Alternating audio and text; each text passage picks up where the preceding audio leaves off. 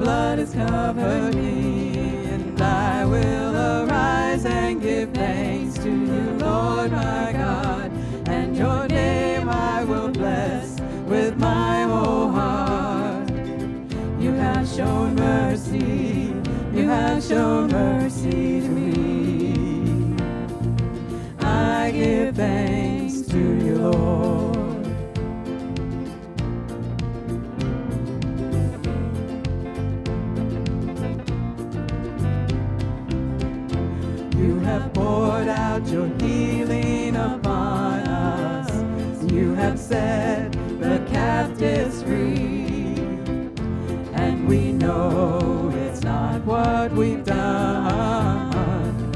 by your hand alone. We will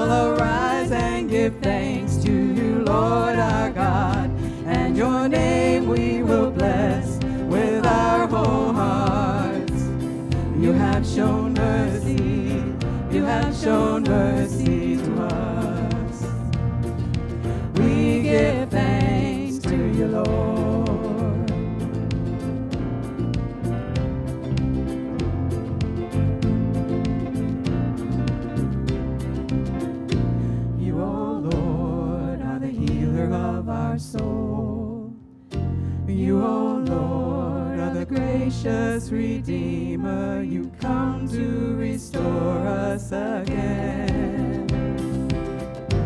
You, O Lord, are the healer of our soul. You, O Lord, are the gracious Redeemer. You come to restore us again. Yes, you come to restore us again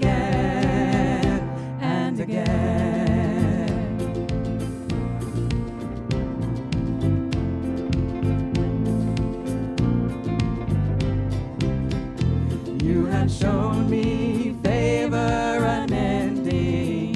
You have given your life for me. And my heart knows of your goodness. Your blood is covered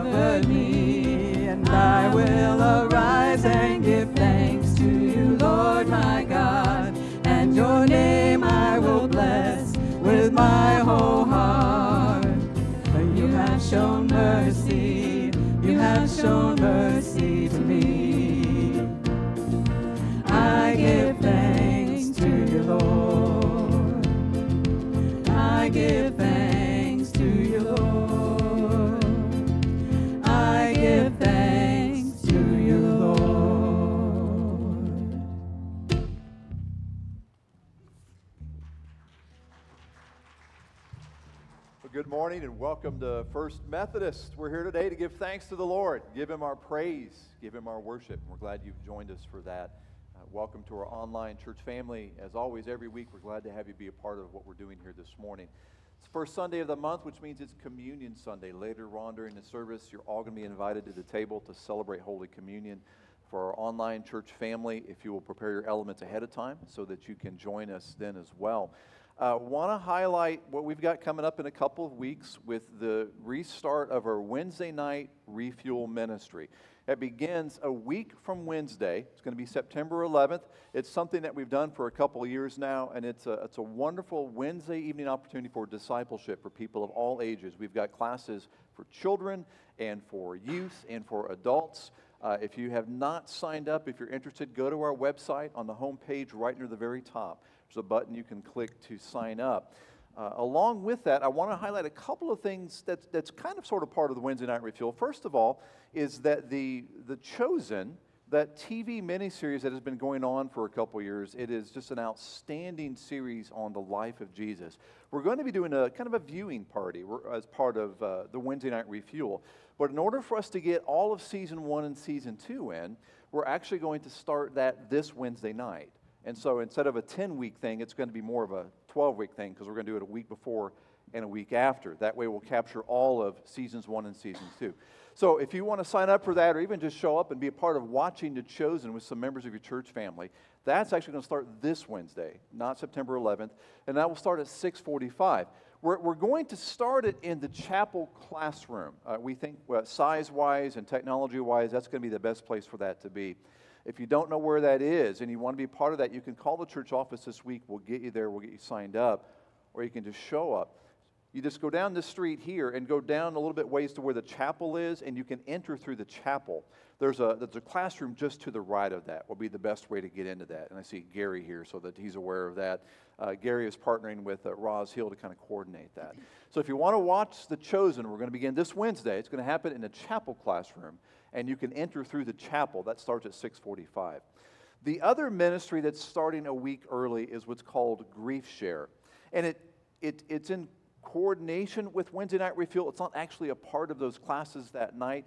Grief Share has a particular focus to, to minister to people who are dealing with loss in their lives. Grief Share is a, is a national ministry organization, and we're just a host site for this ministry. If you are dealing with loss in your life and maybe having a hard time kind of moving forward or getting beyond that, you can be a part of this grief share group, and I'm telling you, it's, it's life transforming. It's absolutely wonderful. But because of the, the nature of what they do, that one's going to begin this Wednesday as well. And this one's actually going to start, grief share starts at 4 o'clock. Grief share is going to go from 4 o'clock in the afternoon to 5.15.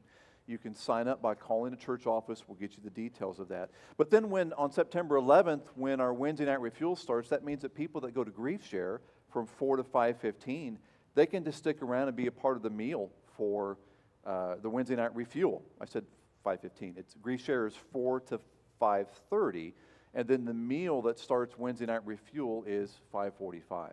And so for some people, they'll take that class early on. They'll stick around for the uh, the family-friendly meals, and even go on later on in the evening for the discipleship classes.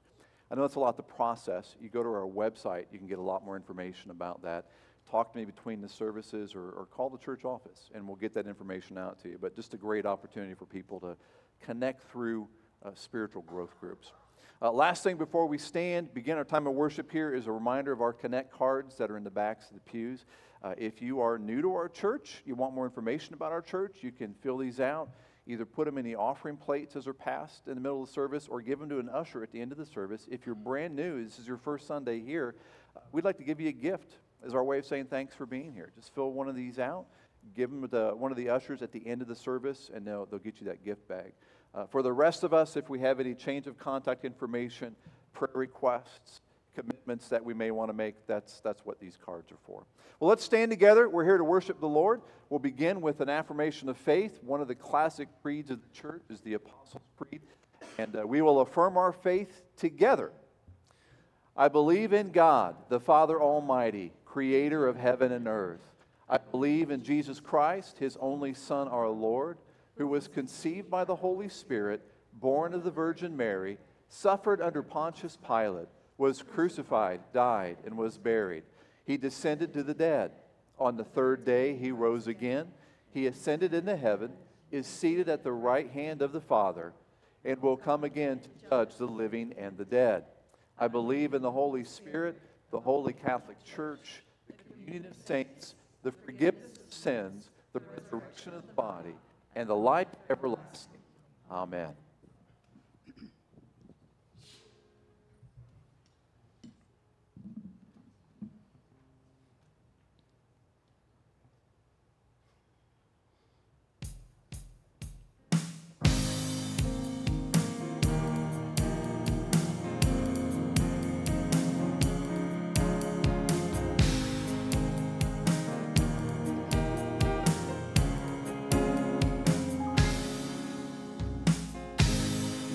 say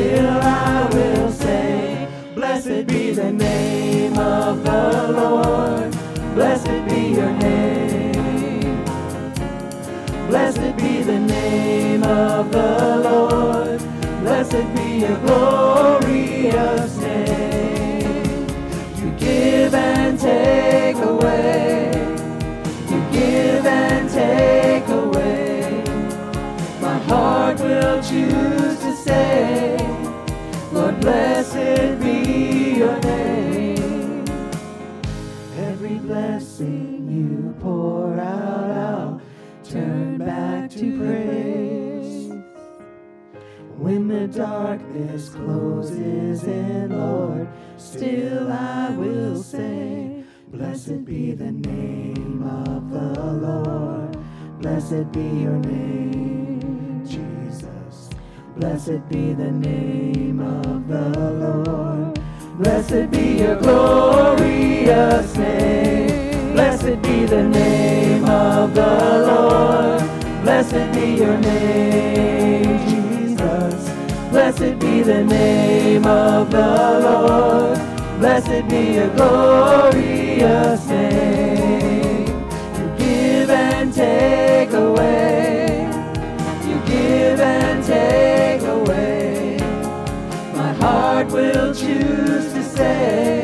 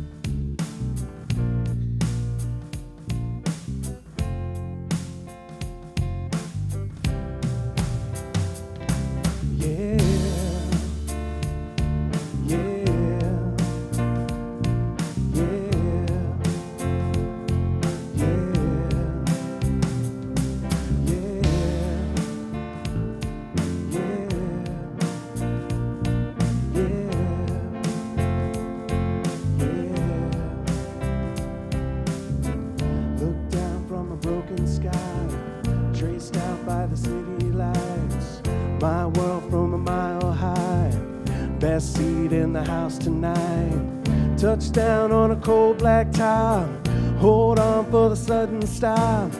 Breathe in the familiar shock of confusion and chaos.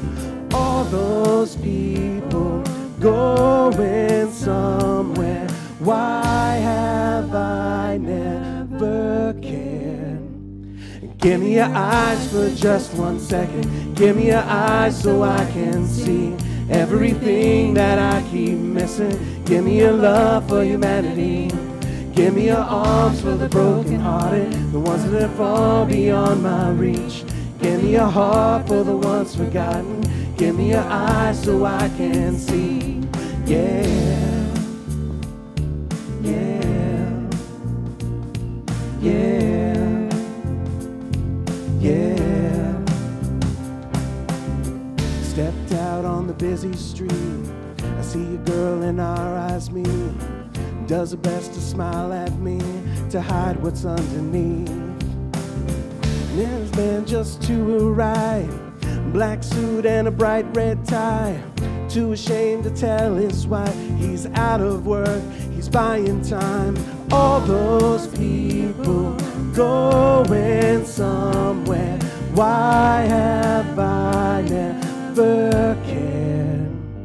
Give me your eyes for just one second. Give me your eyes so I can see everything that I keep missing. Give me your love for humanity. Give me your heart for the brokenhearted, the ones that are far beyond my reach. Give me your heart for the ones forgotten.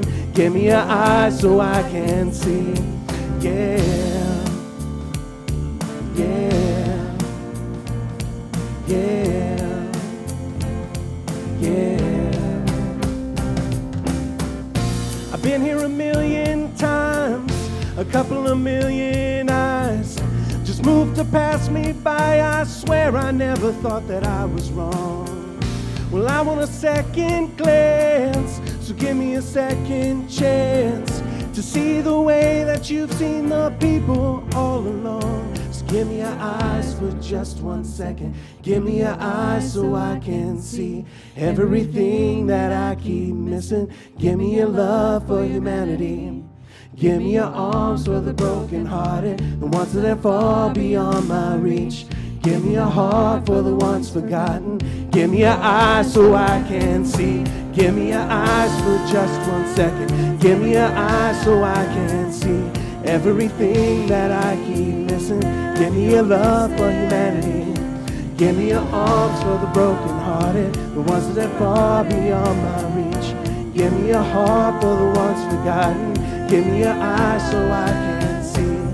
Yeah, yeah, yeah, yeah, yeah, yeah, yeah, yeah. Yeah.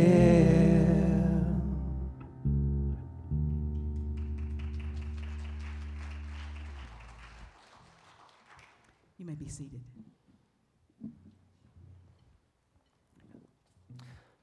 Let's go to the Lord together in prayer. Almighty God, there are so many needs in the world around us. The song that we sang, let that be the cry of our hearts, that we would just see what's going on around us. That we can be a blessing to others as you have been such an amazing blessing to us. For those of us here who have accepted the promise of new life in Jesus Christ and know the possibilities of the abundant life that your word says is ours when we follow Jesus. We have so much to offer, Father, so much to share, and there are so many needs in the world. So, as we go about our way uh, this week, just help our eyes to be opened, our ears to be listening to where we can be a blessing, where we can be encouragers, where we can uh, love and offer hope. Use us, Heavenly Father. We pray that you would help us to do whatever is necessary to stay close to you through our worship, through our engagement in, uh, in small groups and in classes that help us to grow in our faith, through our singing, through our, through our giving, through our prayers, that we would stay right where you want us to be, close to you, safe in your arms of care, sheltered under your protection. Father, we pray for uh, your protection. We pray for your healing. For those in our church family who are, are going through a lot, dealing with physical things, dealing with emotional, relational things. It's a hard place to be in. We pray that you would uh, meet them at their needs and give them what they need. Father, we pray for uh, Ebenezer Amoa, Roberta Angus, Steve Chuki, Dottie DeBar, Michael Devine, Joan Donaldson, Jim Elliott, David Fryermuth, Laura Frost, Gwen Gilbert, Randy Hall, Angie Harper, Peter Jordan. We pray for Michael Kerr, Dawn Lakin, Leslie Lawther, Joan Leonard, Bristol Loftus, Sophia Lucas, Joyce McDuffie, Gary McLean. Continue to pray for John Miller. We pray for Kay Milligan, Jeanette Prasad, Mike Prenderville, for Wanda Ricosi, Angela Raybon, Terry Stanley, Marlene Swank, Dan Tacker, and Michael Tacker. We lift up their names to you, Father, because we know that you know where their needs are. So meet them there. Increase their faith and increase our faith. That we can always know that we cast all of our cares upon you. That you hear, you listen, you care, you respond. And for this and many other things, we thank you and we praise you. All this we offer in Jesus' name, as together we pray the prayer that Jesus taught his disciples by saying together, Our Father, who art in heaven, hallowed be thy name. Thy kingdom come, thy will be done, on earth as it is in heaven. Give us this day our daily bread, and forgive us our trespasses, as we forgive those who trespass against us. And lead us not into temptation but deliver us from evil. For thine is the kingdom and the power and the glory forever. Amen.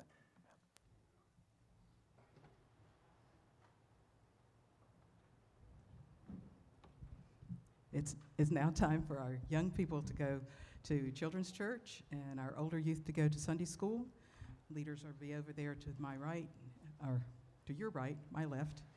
And you can pick them up over in the uh, youth room across from the nursery or in Cooper Hall after the service.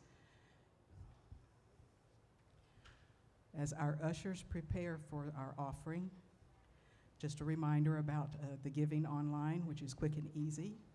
And a reminder, too, that uh, offering is for our church members and gifts. If then we have any guests, if you want to give gifts, we gladly appreciate them, but uh, it's not an obligation. Let us pray. God, we look at our humble offerings and we think, think that they might not change the world today, but they help us remember. We remember that you are generous. We remember that when you give our money, we give our money, we mean that we're giving ourselves. We remember that you work in us you're working in us, and it changes the world, letting your kingdom come on earth. Bless all of these gifts. In Jesus' name we pray. Amen.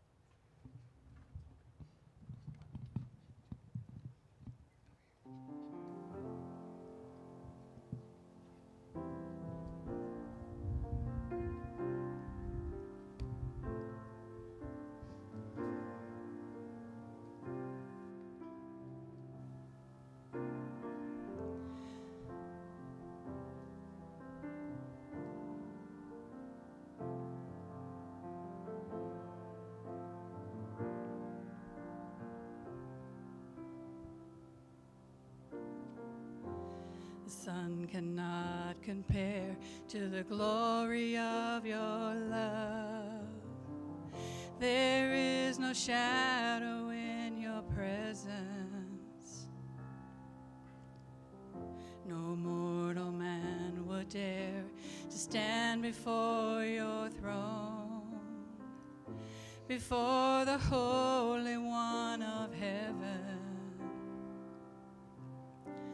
It's only by your blood, and it's only through your mercy, Lord, I come. I bring an offering of worship to my King. No one on earth deserves the praises that I sing. Jesus, may you receive the honor that you're due. Oh Lord, I bring an offering to you. I bring an offering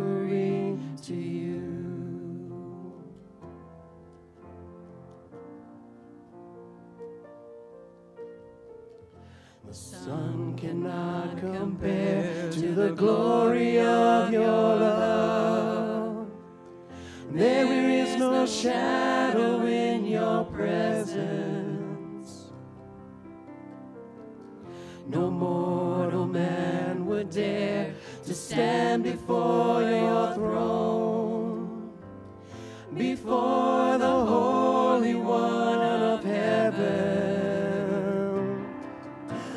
It's only by your blood, and it's only through your mercy, Lord, I come. And I bring an offering of worship to my King. No one on earth deserves the praises that I sing. Jesus, may you receive the honor that you're due. Oh Lord, I bring an offering to you. I bring an offering of worship to my King. No one on earth deserves the praises that I sing. Jesus, may you receive the honor that you're due. Oh Lord,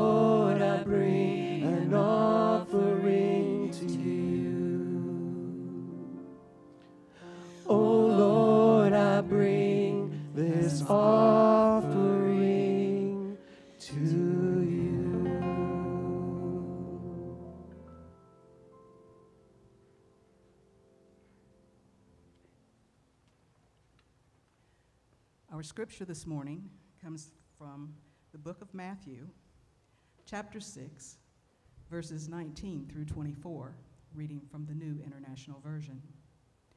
Do not store up for yourselves treasures on earth where moths and vermin destroy and where thieves break in and steal, but store up for yourself treasures in heaven where moths and vermin do not destroy and where thieves do not break in and steal. For where your treasure is, there your heart will be also. The eye is the lamp of the body. If your eyes are healthy, your whole body will be full of light. But if your eyes are unhealthy, your whole body will be full of darkness. If then the light within you is darkness, how great is that darkness? No one can serve two masters. Either you will hate the one and love the other, or you will be devoted to the one and despise the other. You cannot serve both God and money. The word of God for the people of God. Thanks be to God.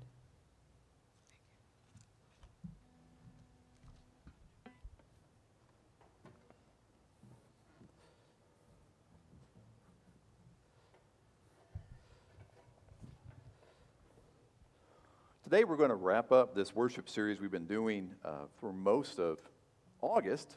And seeing how this is the very first day of September, this is a triple play way of life that we've been kind of walking through. These are five key behaviors, part of the just the DNA uh, of followers of Jesus Christ, of Christians. How do we practically live for Jesus in this world today? We've, we've looked at four different areas. We're going to look at a fifth area today. And, and I've offered three different handles each week to get a better sense of how do we do that on a practical basis, on a regular basis. And uh, I'll invite you once again to repeat after me. We consider these handles. Week one, we talked about connecting with people outside the church. And how do we connect with people outside the church? Uh, we invest in their lives, we invite them to ministry opportunities, we include them in our lives. Invest, invite, include. So let's say it together. Invest, invite, include. Okay, that was week one. Second, we talked about worship. Uh, obviously, as followers of Jesus, we worship. We worship individually, we worship uh, as the body of Christ, as the family of God. And knowing that worship involves our, our head and our, our hearts and our hands. Head, heart, hands. Let's say that together. Head, heart, and hands. The way that we primarily connect with God. And then the third week, we talked about ways that we, we grow in our faith and what uh, discipleship is all about and getting ourselves into into groups and classes, things beyond worship on Sunday morning, because this is really more about God, less about us. But to get into a Wednesday night refuel class or a Bible study in your community, your neighborhood where you live, or a Sunday school class, whatever it is, uh, when we, where we listen, learn, and, and love with other like minded Christians. So listen, learn, and love. That's a triple play. Let's say that together. Listen, learn, and love. Last Sunday, uh, our choir director preached on serving, which is that fourth component uh, of the Jesus way of life, where we serve one another, we serve the world around us, and we do that primarily in three different ways by praying, uh, by giving, uh, financially supporting those serving opportunities, and sometimes by just going, as our uh, Cuba team is going to be going to Cuba here uh, at the beginning of 2025. So the triple play for serving uh, is praying, giving, and going. Pray, give, go. Let's say that together. Pray, give, go. All right. So we wrap this up today with a fifth core behavior of a Christian, and that behavior is giving. It's a matter of generosity. Now, what I want to do is I want to turn our thinking about generosity upside down. I want to just completely shift the way that we think about it. Too often, when we think about money or uh, giving, a charity, tithing, that, that 10% ideal that we have in the church, anything that's related to generosity, uh, we tend to think about it in ways of, of how much we should give, uh, how much we, we want to give. It's the wrong question. Absolutely the wrong question. When we ask that question, we're starting from the wrong end of things. The scripture that was just read for us, Wanda just read for us from Matthew chapter 6, says, Don't destroy things, uh, don't, don't store up for yourself uh, treasures on earth uh, where, where moth and vermin destroy, where thieves break in and steal, but store up for yourselves treasures in heaven where moths and vermin, and, uh, vermin do not destroy, where thieves do not break in and steal. Where your treasure is, there your heart uh, will be also. So, so to turn this way of thinking upside down is to actually turn it right side up. I want us to go back to one of our spiritual forefathers in, in our tradition, part of the, the Methodist tradition, a global Methodist church now. Uh, John Wesley uh, was one of our spiritual forefathers in the 1700s. His most well known sermon on uh, money was titled the use of money because he wasn't all that creative, right? the use of money, but he was brilliant. He was absolutely brilliant. Uh, the triple play here, I'm going to give this triple play. You'll see this in the, in the bulletin insert. The triple play is gain, save, and give. Now, here's the phrasing gain all you can, save all you can, give all you can. Gain, save, give. Let's say that together. Gain, save, give. This triple play comes straight from our spiritual forefather, John Wesley. Let's start with the gain word. Gain all you can. Wesley believed that when it comes to making a living, how we earn money to live, Christians have a whole lot in common with people who are outside the church. We've got a lot in common with unbelievers. We can meet them here, uh, he said, on their own ground. Uh, Wesley believed that we ought to make money there's nothing wrong with making money. Christians should be industrious. We should work hard. We should be clever. We should always do so with integrity, honesty, uh, ethically. But if, if you were created by God, if you were given the gifts to go out in this world and make a lot of money, then you were obligated to do so. That's why God has given you these gifts. Everyone's at a different place. We all have different spiritual gifts. We all need to, uh, most of us anyway, need to go out and, and make some money so that we can live. We can take care of ourselves. We can take care of our family. We can take care of our churches and so forth. But listen, if you are gifted in ways of making money, get out there and make money, Wesley would say. There's nothing wrong with making money. In fact, Wesley would argue that Christians had a duty to gain all they could. Hmm. That surprise you? Get all you can, as long as you can do it, again, ethically, with, with integrity. John Wesley himself, uh, back in the day, in the 1700s, was one of the highest earning preachers of his day.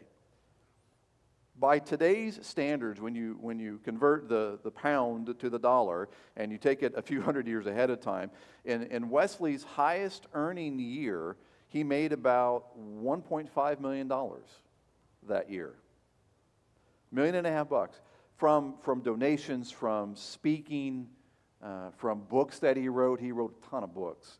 Uh, from uh, what he called penny tracts, little small writings.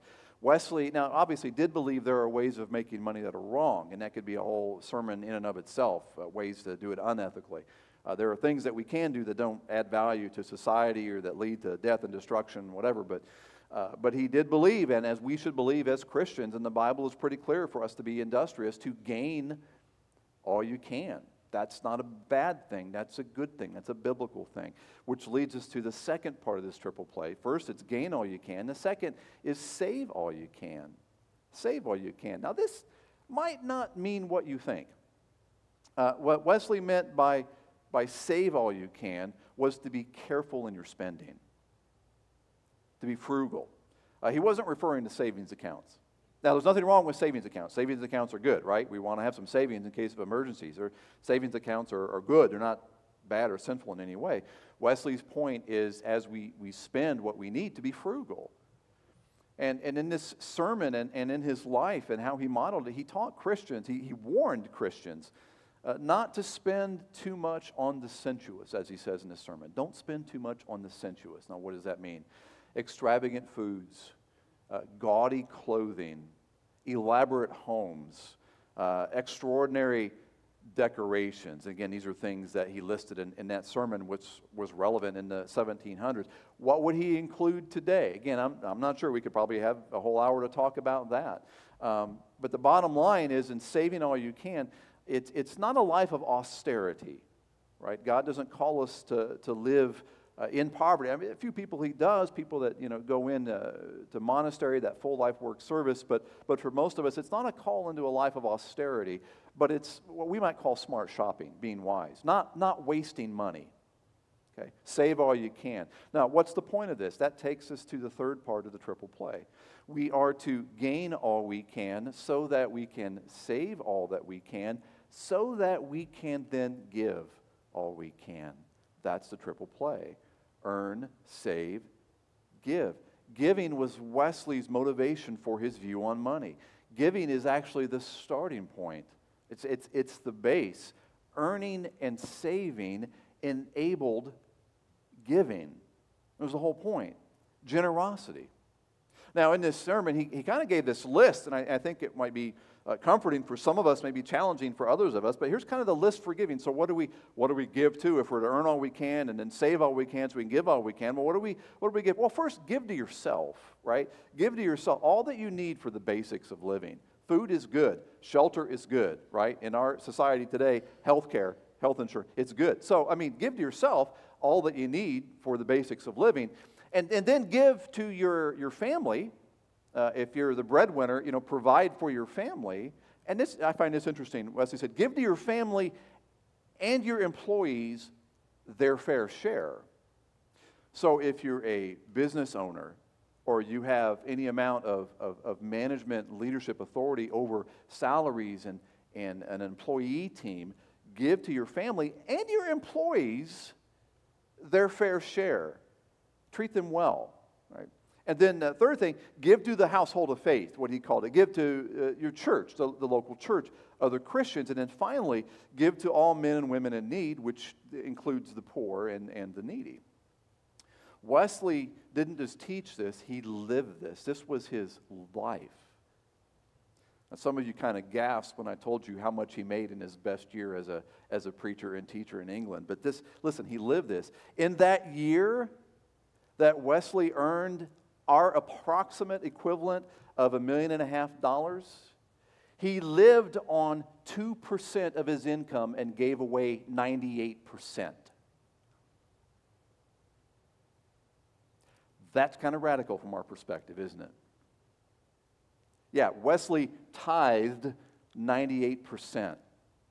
Technically, a tithe is 10%, but he gave uh, 98% uh, to the church, to uh, orphanages, to other uh, causes. During Wesley's lifetime, he earned the equivalent of around $30 million. Over the course of his lifetime, $30 million. When he died, you know what he left behind? He left behind only a few miscellaneous coins uh, and a couple of silver spoons. He had given away the rest, he had given away everything else. See, to, to Wesley, uh, in, in reading Scripture and in seeing what God had to say about being a good steward, tithing, the, the giving of 10%, that was the start. That was just the foundation. That wasn't the end goal. It was the beginning. It was the most basic level of, of, of giving.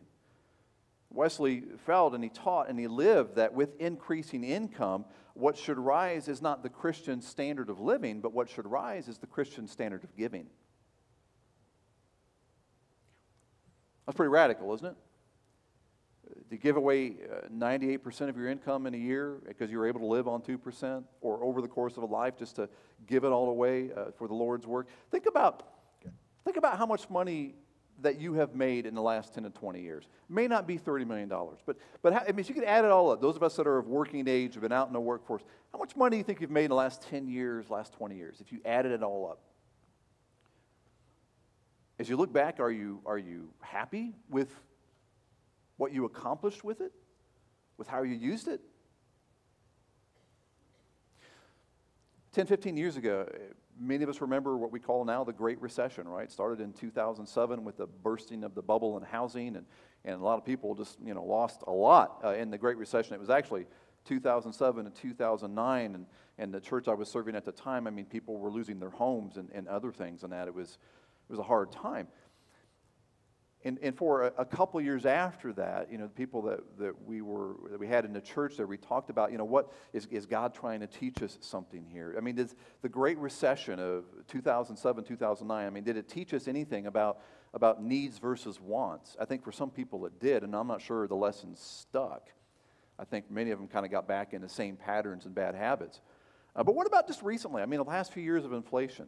Uh, what, what do we learn from that? What, what does that teach us about biblical wealth management? And, and it got me thinking and, and wondering do you think that there's any possibility that God allows so many of us to go through challenging financial times because He wants us to think about who or what we truly trust in? Do we trust in our wealth or do we trust in God?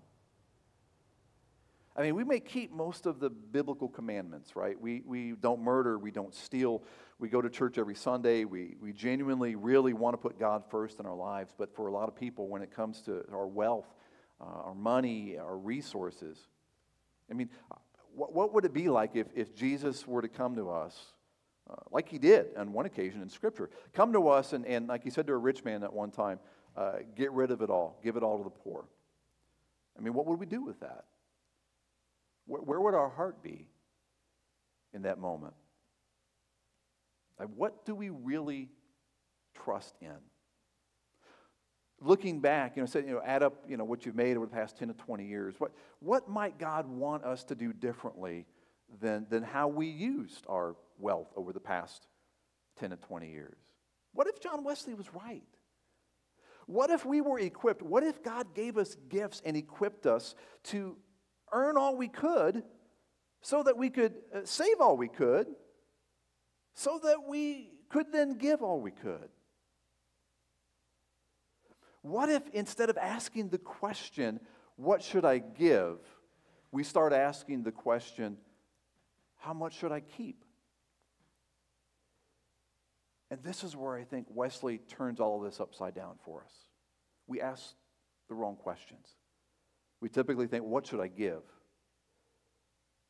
When maybe we should be asking, How much should I keep? What do I need to live?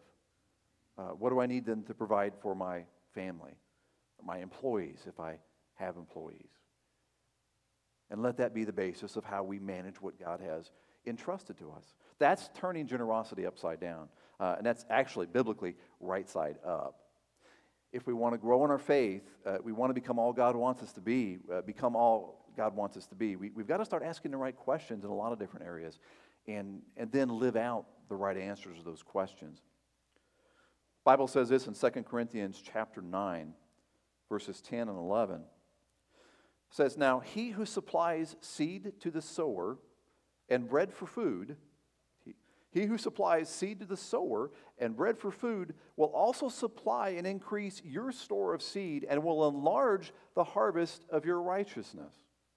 You will be enriched in every way so that you can be generous on every occasion.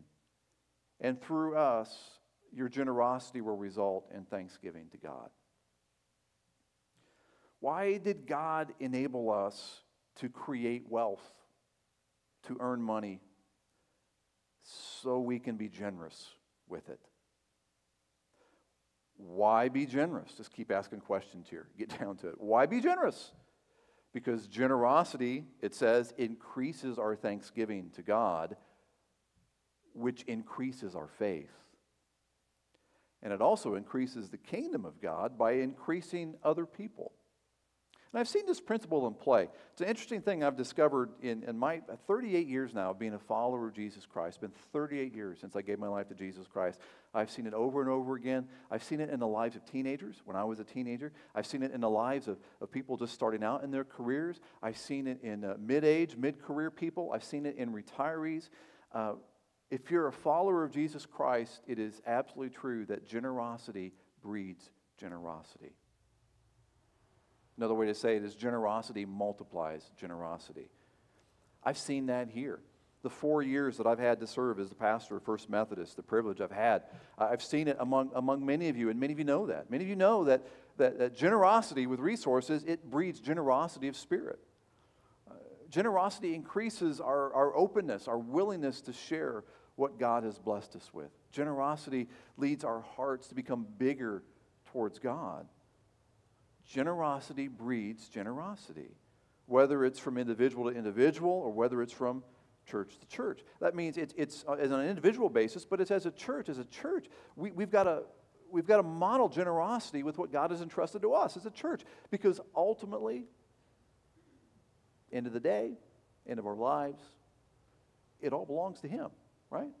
You take nothing with you. It all belongs to Him.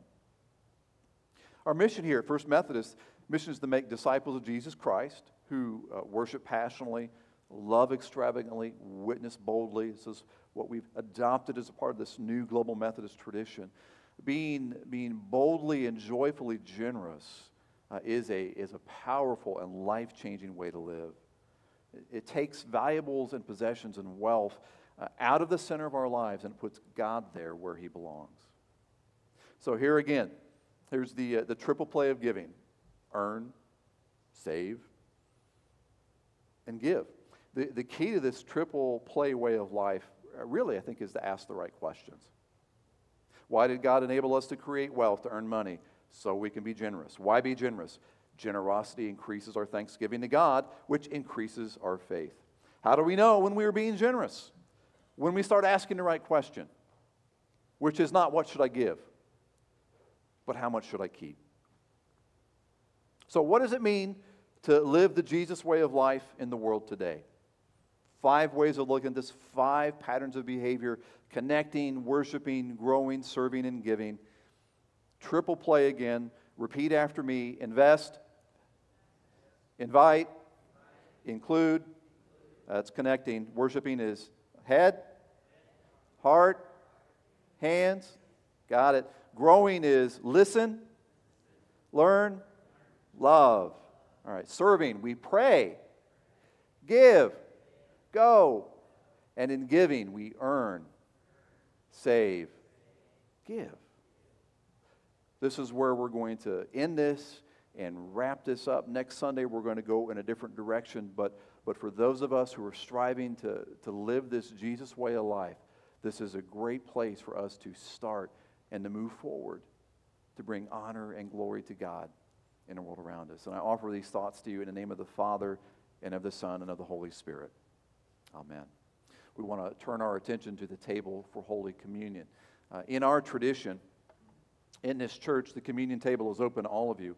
If you have a desire to come to uh, receive Holy Communion, that's between you and God. It's Christ's table, and He invites you to come. There is an invitation, though. We do have to prepare ourselves. Christ our Lord invites to His table all who love Him, who earnestly repent of their sins, and who seek to live in peace with one another. So let's pray together and give the Spirit of God some space to examine us so that we can be appropriately prepared to come to the table. Pray with me. Just take a moment and consider your lives over the past week, the past few weeks. Are there any sins that you need to silently confess to the Lord? Anything you're not sure about that maybe unsure whether or not it was uh, separating you from God, whether it was God's best for you in the way that you live, the way that you talk, the way that you think? Just confess that silently to the Lord and ask Him for forgiveness with full confidence, knowing that He is faithful and just to forgive us of our sins and to purify us from all unrighteousness.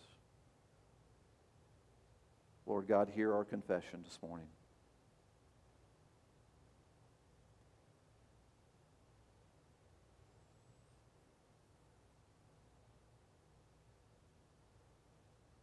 And now, God, search our hearts and our minds if there's any brokenness in relationships that we have a, a share of responsibility in. Give us the strength and the courage to work on those relationships, to work towards restoration, to be healed in every way, to be as forgiving as you have been of us, to be as loving and as kind as you have been towards us. Father, we invite you into this time and place as we come to the table for Holy Communion. Send your Holy Spirit upon all of us here, upon these gifts that we're about to receive, the gifts of the bread and the cup, that they would be for us the body and blood of Christ, that we might be for the world the body of Christ, redeemed by his blood. As we come to this table and receive, increase our unity with one another and increase our connection with you in every way and in everything that we would be faithful in living the Jesus way of life in this life, in the here and now. It's in His name that we pray. Amen. The band will come forward uh, to receive the elements. This is how it's going to work. I'm going to serve uh, the band, the singers, and the servers as well. If you'll come forward, uh, I'll serve them, and then we'll, we'll get ready for our positions. We'll invite you then to come forward to the center aisle and come and receive. There's going to be two stations up front uh, bread and cup here, bread and cup there. We'll start in the front rows. We'll work our way back. You'll come to the center aisle, and you'll come and receive that way. And I'll, I'll direct you in doing that in just a moment.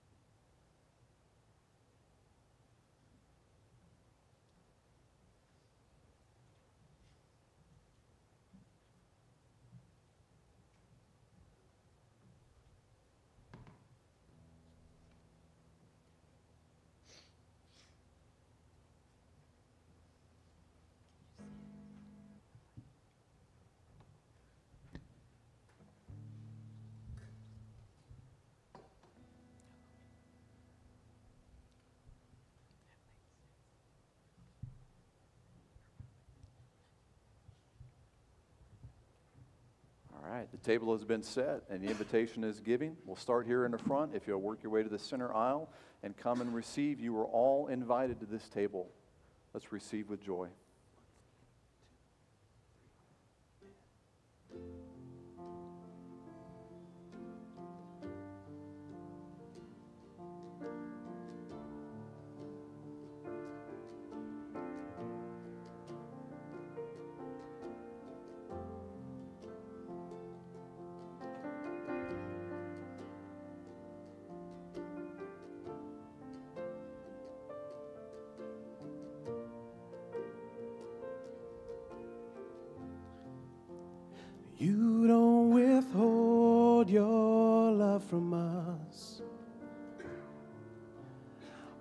Arms open wide upon a cross.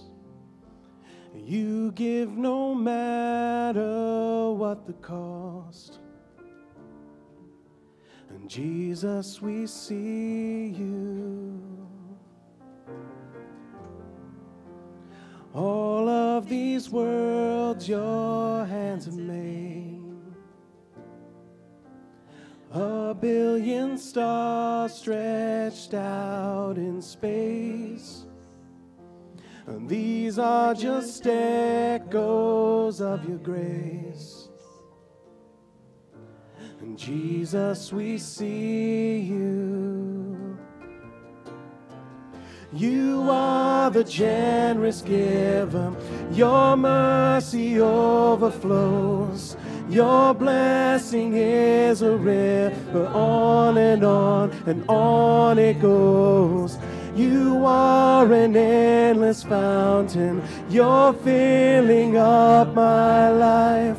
Your heart must sing your praise. Jesus, you be glorified.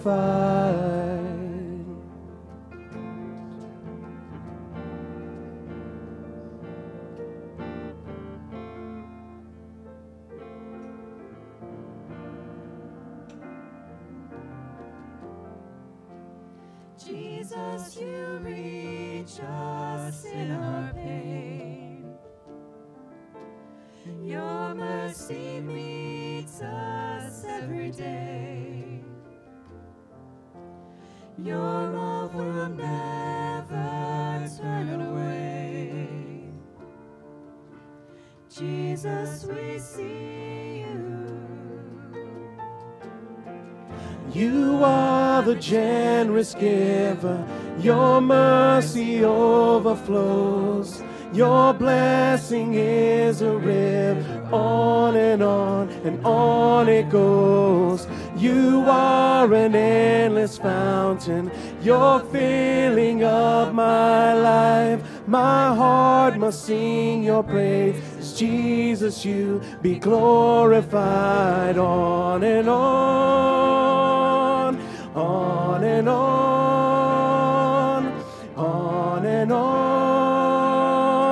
And Jesus, you be glorified on and on, and on and on, on and on.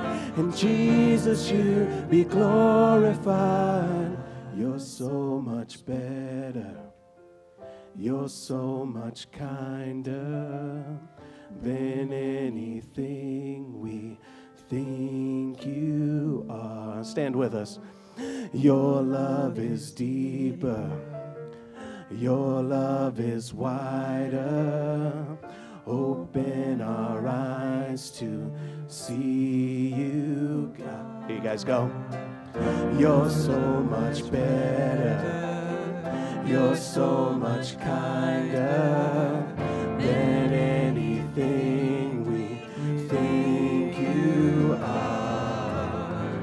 Your love is deeper. Your love is wider. Open our eyes to and see you, God. You're so much better. You're so much kinder than anything we think you are. Let's fill this up. Your love is deeper. Your love is wider. Open our eyes to see you, God. You are the generous giver. Your mercy overflows. Your blessing is a river on and on and on it goes. You are an endless fountain. You're filling up my life. My heart must sing your praises. Jesus, you be glorified on and on, on and on, on and on. And Jesus, you be glorified on and on, on and on, on and on. And Jesus, you be glorified. You are the generous giver. Your mercy overflows. Your blessing is a river. On and on and on it goes.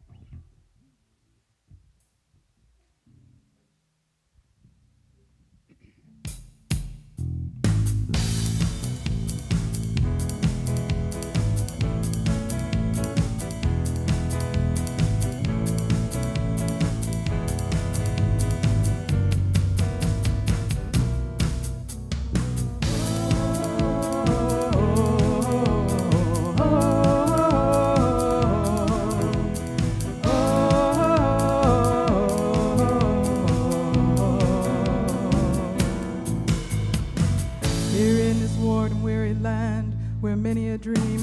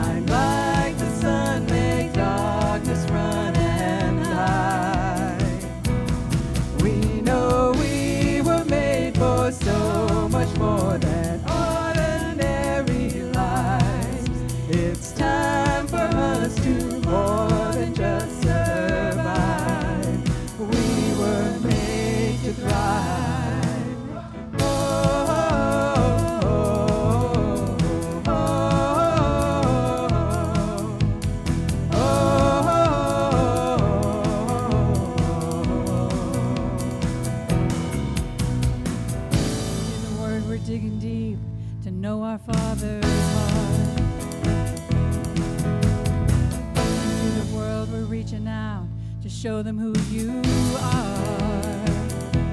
So living water flowing through, God, we thirst for more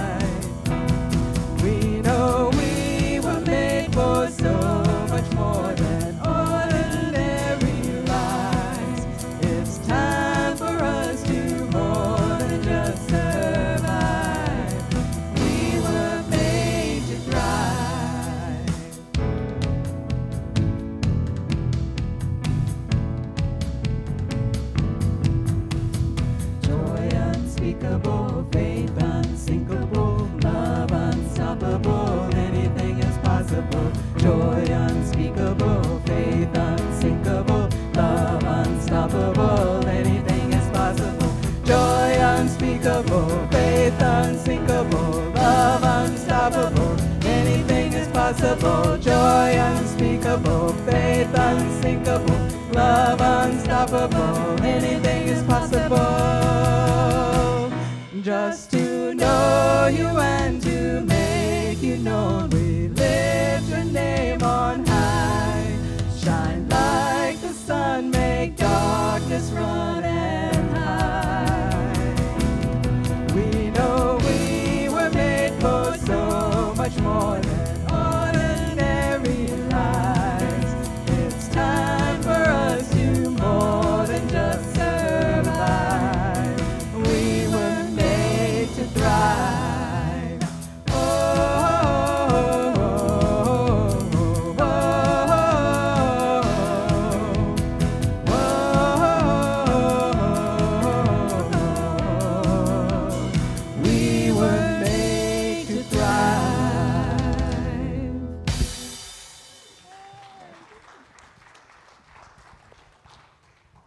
Hopefully, that'll be your life this week as you consider five ways in living the Jesus way of life. Go out and thrive. Uh, enjoy the life, the world that God has given you to live in. Stick around. If you want some refreshments, we've got them in Cooper Hall. Uh, if you're new to us, just head to this door to your right. Go across that way. There's some coffee, there's some refreshments. Uh, great way to get to know some of the wonderful people of our church. Next Sunday, a brand new uh, worship Sunday. Invite someone to join you. It's going to be a great day. Doing a few things a little bit different next Sunday. If you got friends or family that don't have a church home, invite them here. We've got room to grow and we've got good news to share. Amen. Amen. We'll see you then.